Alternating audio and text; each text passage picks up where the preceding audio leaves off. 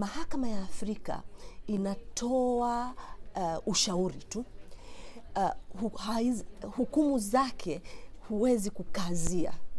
Kwa hivyo ni mahakama ya ushauri inasema kama hivi um, Tanzania hamfati taratibu, ham, hamfati haki za binadamu zilizokuwa kwenye Banjul Treaty, na tunaomba tunakupeni ushauri mbadilishe sheria. Kwa hivyo tumefika stage sasa, uh, serikali yetu haitaki hata kupewa ushauri. Kwanza wanataka kutunyang'anya haki zetu za kuwapeleka mahakama ya Kiafrika na haitaki kusikiliza ushauri kutoka mahakama ya, ya, ya Afrika. Kwa hivyo ni, ni jambo la kustajabisha sana. Kwa nini Tanzania ina uoga? Uh, in my view um, haitaki ushauri. Uh, mahakama ya, ya Afrika ikikaa wanahakikisha kama ni kesi dhidi ya Tanzania, wanahakikisha kwamba hakuna jaji kutoka Tanzania atakaa kwenye kesi hiyo. Tangu hii mahakama ya Afrika ilipoanza, kuna ambao wamefanikiwa, yaani asasi za kiserikali na watu binafsi. Ndio, ndio.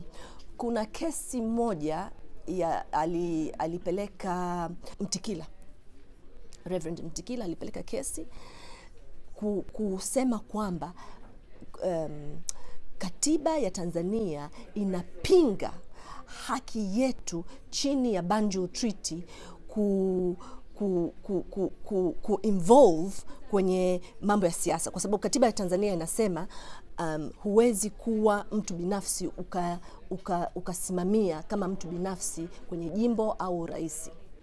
Alikwenda mahakama ya Afrika, mahakama ya Afrika akasema kwamba hii ni kuvunja uh, haki zetu chini ya Banjul Treaty. Kwa hivyo ni kesi muhimu sana na advisory ushauri ukatoka kutoka mahakama ya Afrika kwamba Tanzania mnavunja haki za msingi chini ya Banjul Treaty. Uh, Miongoni mwa nchi zote za Afrika, si zote ambazo zimetia saini. Sasa inaonekana hata mahakama yenyewe ya Afrika haina haina uwezo, yani haina umuhimu sana. Kuna nchi thelathini za Afrika zimesign protocol za mahakama. Kutoka nchi thelathini, nchi tisa zimekubali kwamba wananchi wao wa, waweze kupeleka kesi eh, mahakama ya Afrika dhidi ya serikali zao, na mojawapo ni sisi eh, Tanzania. Uh, kwa hivyo tulivyoamua kufanya hivyo tulikuwa tuna tunatoa mfano mzuri kwa Waafrika wenzetu, lakini sasa tunatoa tuna, tuna hiyo haki, tunawanyang'anya wananchi hiyo haki ya kupeleka kesi eh, mahakama ya Afrika. Ni kwangu mimi ni aibu, ni aibu sana. Kama Tanzania ni wenyeji wa mahakama hii ya Afrika alafu wanajitoa, sitakuwa balaa sasa? Mimi ninavyoona Tanzania tunazidi kuji-isolate, sijui kwa Kiswahili unasema vipi, lakini kuna kujitenga, kujitenga. kuna isolationist politics. Eh, siasa za kujitenga, tunazidi kujitenga. Na kila tukijitenga, em, tunazidi kujifunga na kutizama ndani badala ya kutizama nje.